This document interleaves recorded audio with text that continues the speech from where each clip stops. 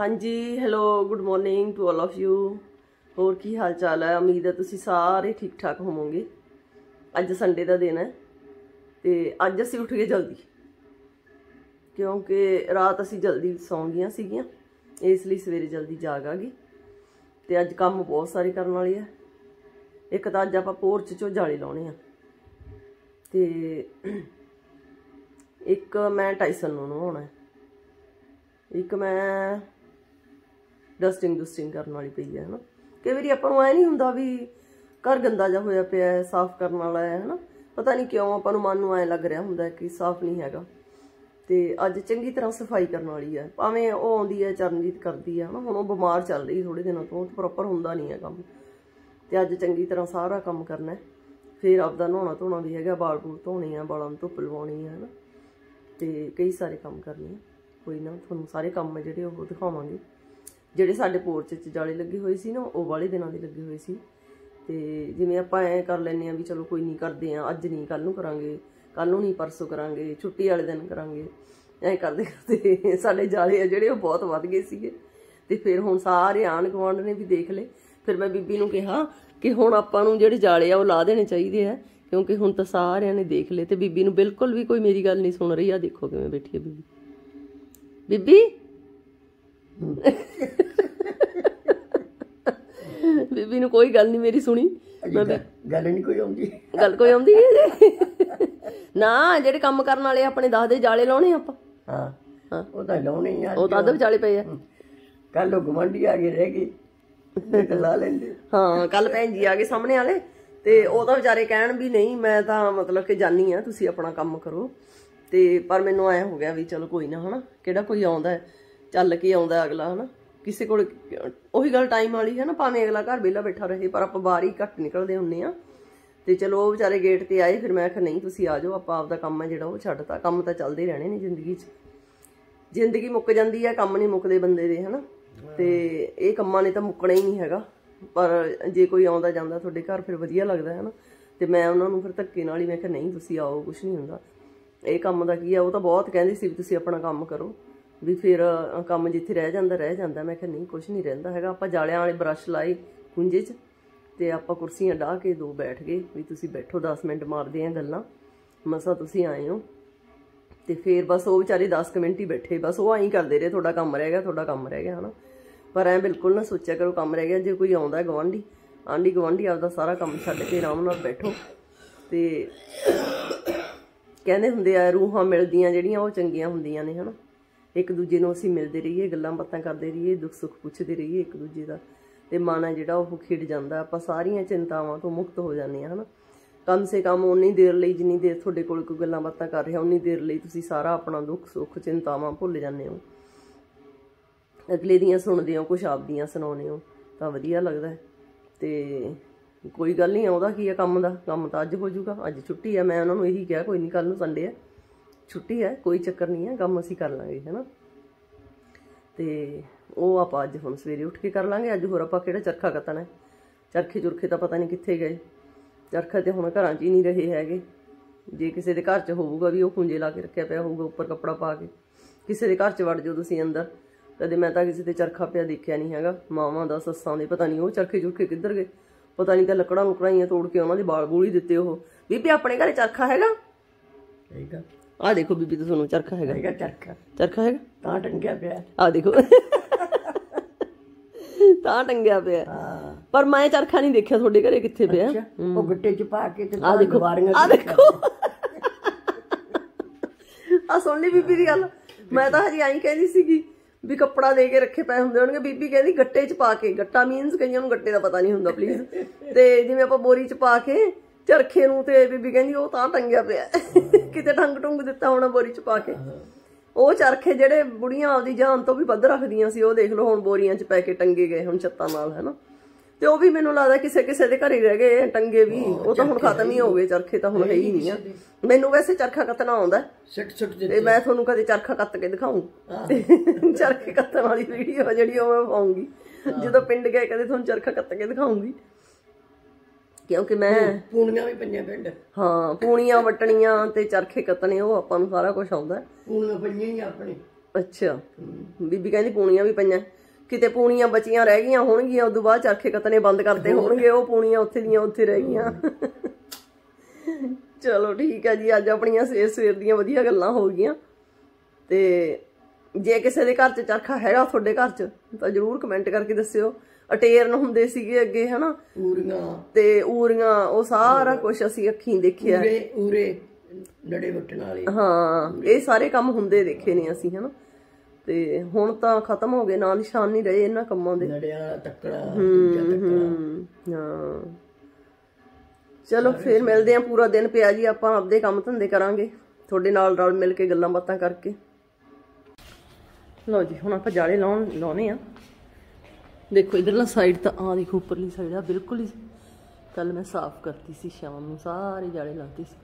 ਇੱਕ ਨਾ ਸਾਡੇ ਕਰਕੀਣ ਲੱਗੀ ਸੀ, ਉਹ ਦੇਖੋ, ਉੱਪਰ ਤੋਂ ਦਿਖ ਰਿਹਾ ਨਾ ਨਿਸ਼ਾਨ ਜਿਹਾ। ਕੱਲ ਮੈਂ ਤੋਂ ਮਿੱਟੀ ਲਾਈ ਹੈ, ਪਰ ਨਿਸ਼ਾਨ ਜਿਹਾ ਰਹਿ ਗਿਆ। ਤੇ ਆਈ ਇਧਰਲੀ ਸਾਈਡ ਉਹ ਸੀ ਕਾਰਨਰ 'ਚ ਵਿੰਡੋ ਦੇ। ਉੱਥੋਂ ਵੀ ਮੈਂ ਸਾਰੀ ਮਿੱਟੀ ਲਾਈ ਆ, ਹੁਣੇ ਨਾ ਮੈਂ ਗਿੱਲਾ ਕੱਪੜਾ ਮਾਰ ਕੇ, ਫਿਰ ਇਹ ਸਾਰੀ ਮਿੱਟੀ ਬਤਾ ਲੂੰਗੀ। ਉਹ ਦੇਖੋ, ਉੱਪਰ ਲੱਗੇ ਦਿਖ ਰਹੇ ਆ ਨਾ ਜਾਲੇ ਤੁਹਾਨੂੰ ਔਰ ਸੀ ਇੱਥੇ ਵੀ ਲੱਗੇ ਪਏ ਨੇ। ਇਹਨੂੰ ਉਤਾਰਦੀ ਹਾਂ ਅੱਜ। ਤੇ ਉੱਪਰਲੀ ਸਾਈਡ ਵੀ ਹੈਗੇ ਨੇ। ਉਹ ਦੇਖੋ ਉੱਪਰਲੀ ਸਾਈਡ ਜਿਹੜੇ ਡਿਜ਼ਾਈਨ ਜਿਹੇ ਬਣੇ ਹੋਏ ਨੇ ਨਾ, ਉਹਨਾਂ ਦੇ ਵਿੱਚ ਵਿੱਚ ਜਾਲੇ ਦਿਖ ਰਹੇ ਨੇ। ਉਹ ਦੇਖੋ। ਇਹ ਵੀ ਅੱਜ ਮੈਂ ਉੱਪਰ ਜਾ ਕੇ ਉਤਾਰੂੰਗੀ। ਪਹਿਲਾਂ ਨੀਚੇ ਵਾਲੇ ਉਤਾਰਦਾ। ਫੇਰ ਛੱਤ ਦਿਖਾਉਂਗੀ ਤੁਹਾਨੂੰ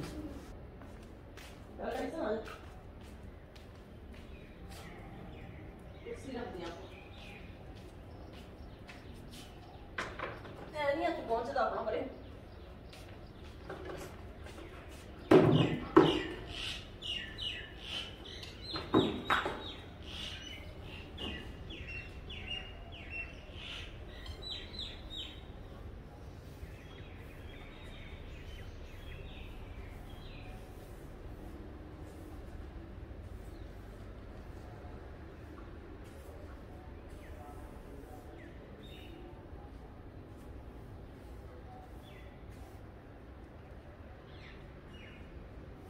ਲਓ ਜੀ, ਛੱਤ ਆ ਜਿਹੜੀ ਅੱਜ ਆਪਣੀ ਵਧੀਆ ਬਣ ਜੂਗੀ।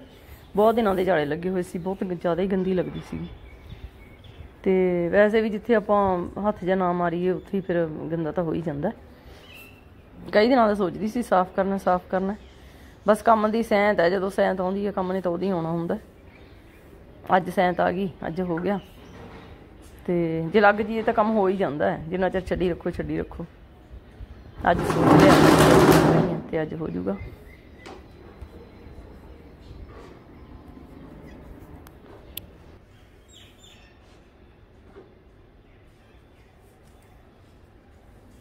ਛੱਤ ਨਾ ਥੋੜੀ ਉੱਚੀ ਹੈ, ਹੱਥ ਨਹੀਂ ਪਹੁੰਚਦਾ ਕੁਰਸੀਆਂ ਦੇ ਚੜ ਕੇ ਪਹੁੰਚਦਾ ਜਾਂਦਾ, ਪਰ ਔਖਾ ਬਹੁਤ ਹੈ। ਔਖੇ ਸੌਖੇ ਕਰਤਾ ਰਹੀ ਹਾਂ ਕੰਮ। ਪਰ ਨਾ ਗਰਦਨ ਦੁਖਣ ਲੱਗ ਜਾਂਦੀ ਹੈ, ਇੰਨਾ ਉੱਚਾ ਤਾਂ ਝਾਕਦੇ, ਹਨਾ। ਬਾਹ ਵੀ ਪੂਰੀ ਐਨ ਸਿੱਧੀ ਕਰਕੇ ਫੇਰ ਜਾਲੇ ਲੈਂਦੇ ਨੇ। ਤੇ ਥੋੜਾ ਉੱਚੀ ਹੋਵੇ ਕੋਈ ਚੀਜ਼, ਕਿਸੇ ਉੱਚੀ ਚੀਜ਼ ਤੇ ਟੇਬਲ ਵਗੈਰਾ ਤੇ ਫਿਰ ਜਾਂ ਘੋੜੀ ਹੋਵੇ, ਹਨਾ। ਘੋੜੀ ਲਿਆਉਣ ਵਾਲੀ ਹੈ, ਘੋੜੀ ਨਹੀਂ ਲਿਆਂਦੀ ਹੋਈ। ਉਹਦੇ ਨਾਲ ਸਫ਼ਾਈ ਫਿਰ ਵਧੀਆ ਹੋ ਜਾਂਦੀ ਹੈ। ਤੇ ਪਰ ਕਰਤਾ ਰਹੀ ਹਾਂ, ਚਲੋ, ਔਖੇ ਸੌਖੇ ਕਰ ਲੂੰਗੀ। ਕੰਮ ਤਾਂ ਕੋਈ ਰਹਿੰਦਾ ਨਹੀਂ ਹੁੰਦਾ, ਕੰਮ ਤਾਂ ਹੋ ਹੀ ਜਾਂਦਾ ਹੁੰਦਾ। ਕੰਮ ਤਾਂ ਹੋ ਜਾਊਗਾ ਇਹ ਵੀ, ਪਰ ਥੋੜਾ ਔਖਾ ਹੋ ਜਾਂਦਾ ਬਸ, ਐਵੇਂ ਕਰਨਾ, ਹਨਾ। ਚਲੋ, ਸਫ਼ਾਈ ਤਾਂ ਬਹੁਤ ਜ਼ਰੂਰੀ ਹੈ ਜੀ ਕਰਨੀ। ਕਰਨੀ ਹੋਈ ਸੀਗੀ, ਇੰਨੇ ਦਿਨਾਂ ਦੀ ਸੋਚਦੀ ਸੀ ਵੀ ਕਰਾਂ ਕਰਾਂ ਕਰਾਂ।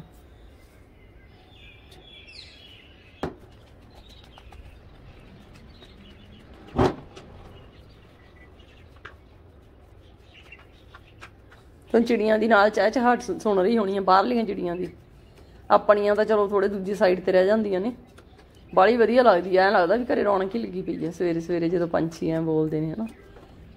ਤੇ ਨਾਲ ਨਾਲ ਕੰਮ ਵੀ ਵਧੀਆ ਜੀ ਲੱਗ ਜਾਂਦਾ ਕੰਮ ਤੇ ਵੀ, ਜਦੋਂ ਆਵਾਜ਼ਾਂ ਆਉਂਦੀਆਂ ਨੇ ਬਾਰ-ਬਾਰ ਨਾ ਕੁਰਸੀ ਖਿੱਚ ਕੇ ਕਦੇ ਉੱਥੇ ਕਰ ਲਈ, ਕਦੇ ਉੱਥੇ ਕਰ ਲਈ, ਐਵੇਂ ਕਰ ਕਰਕੇ ਕੰਮ ਕਰਨਾ ਪੈਂਦਾ ਟਾਈਮ ਬਹੁਤ ਲੱਗਦਾ ਕਰਨ ਤੇ। ਪਹਿਲਾਂ ਤਾਂ ਆਕਰ ਘੀਣਾ ਨਹੀਂ, ਜਿਹੜੇ ਆ ਘਰ ਜੇ ਬਣਾ ਰੱਖੇ ਸੀਗੇ, ਆਪਦੇ ਏਡੀ ਏਡੀ ਮਿੱਟੀ ਚੜਾਈ ਪਈ ਸੀ। ਉਹਨੇ ਬਹੁਤ ਤੰਗ ਕੀਤਾ। ਬਹੁਤ ਔਖੀ ਹੋਈ। ਉਹ ਬੜੀ ਸਖਤ ਸੀਗੀ। ਇੱਕ ਲੋਹੇ ਦਾ ਡੰਡਾ ਜਿਹਾ ਲੈ ਲਿਆ, ਫਿਰ ਮੈਂ ਉਹ ਮਾਰ ਮਾਰ ਕੇ ਸਾਰੀ ਮਿੱਟੀ ਪਿੱਟੀ ਉਹਨਾਂ ਦੀ। ਉਹ ਤਾਂ ਜਿੱਥੇ ਸ਼ੁਰੂ ਕਰ ਦਿੰਦੀਆਂ ਨੇ, ਫਿਰ ਖਤਮ ਕਰਨ ਦਾ ਨਾਂ ਹੀ ਨਹੀਂ ਲੈਂਦੀਆਂ ਹੈਗੀਆਂ। ਪਤਾ ਨਹੀਂ ਕਿੱਡਾ ਕੁ ਘਰ ਬਣਾਉਣਾ ਹੁੰਦਾ ਉਹਨਾਂ ਨੇ। ਲਓ ਜੀ, ਬਸ ਹੋ ਜਾਣੀ ਆ। ਹੁਣ ਵੀ ਥੋੜਾ ਰਹਿ ਗਿਆ ਮੇਰਾ ਕੰਮ। ਫਟਾਫਟ ਨਿਬੇੜ ਲੂੰਗੀ ਫਿਰ ਮੈਂ ਉੱਪਰ ਜਾ ਕੇ ਕਰੂੰਗੀ। ਉੱਪਰਲੀ ਛੱਤ ਵੀ ਬਹੁਤ ਜ਼ਿਆਦਾ ਗੰਦੀ ਹੋਈ ਪਈ ਆ। ਉਹ ਵੀ ਤੁਹਾਨੂੰ ਦਿਖਾਈ ਸੀਗੀ। ਉੱਪਰਲੀ ਛੱਤ ਥੋੜੀ ਨੀਵੀਂ ਆ, ਉਹ ਨਾ ਮੈਨੂੰ ਇੰਨਾ ਔਖਾ ਨਹੀਂ ਕਰੂਗੀ, ਇਹ ਤਾਂ ਮੈਨੂੰ ਕੁਰਸੀ ਚੜਨਾ ਪੈਂਦਾ ਉਹ ਤਾਂ ਮੈਨੂੰ ਲੱਗਦਾ ਮੈਂ ਨੀਚੇ ਖੜ ਕੇ ਐਵੇਂ ਹੀ ਮਤਲਬ ਕਿ ਸਫ਼ਾਈ ਹੈ ਜਿਹੜੀ ਉਹ ਕਰ ਲੂੰਗੀ ਉਹ ਥੋੜਾ ਸੌਖਾ ਹੁੰਦਾ ਹੈ, ਵਾਰ-ਵਾਰ ਕੁਰਸੀਆਂ ਚੜ੍ਹਨੀਆਂ ਆ ਦੇਖੋ। ਫੇਰ ਉੱਪਰ ਚੜ ਕੇ ਫੇਰ ਦੁਬਾਰਾ ਕਰਨਾ ਥੋੜਾ ਥੋੜਾ ਥਾਂ ਹੀ ਹੁੰਦਾ, ਫਿਰ ਉਦੋਂ ਨੂੰ ਫੇਰ ਕੁਰਸੀ ਹੈ ਜਿਹੜੀ ਅੱਗੇ ਖਿੱਚਣੀ ਪੈ ਜਾਂਦੀ ਹੈ। ਤੇ ਉੱਪਰ ਮੈਨੂੰ ਥੋੜਾ ਸੌਖਾ ਰਹੂਗਾ। ਚਲੋ ਔਖੇ ਸੌਖੇ ਨਵੇਂ ਨਵੇੜ ਹੀ ਲਵਾਂਗੀ ਇਹ ਵੀ ਕੰਮ। ਕੋਈ ਸ਼ਾਮ ਨੂੰ ਕਰਨਾ ਸੀਗਾ ਅੱਧਾ ਕੁ ਅੱਧਾ ਕੁ ਹੁਣ ਹੋ ਜਾਊਗਾ। ਸ਼ਿਫਟਾਂ 'ਚ ਕੰਮ ਨਾਲ ਜਿਹੜਾ ਸੌਖਾ ਹੋ ਗਿਆ, ਨਹੀਂ ਤਾਂ ਫਿਰ ਮੇਰੀ ਬਹੁਤ ਗਰਦਨ ਦੁਖਣੀ ਸੀਗੀ।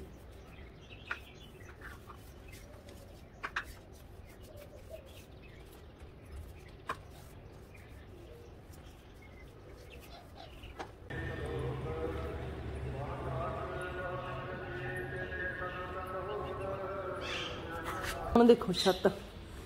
ਲਸ਼ ਲਸ਼ ਕਰਦੀ ਹੈ ਨਾ ਛੱਤ ਹੁਣ।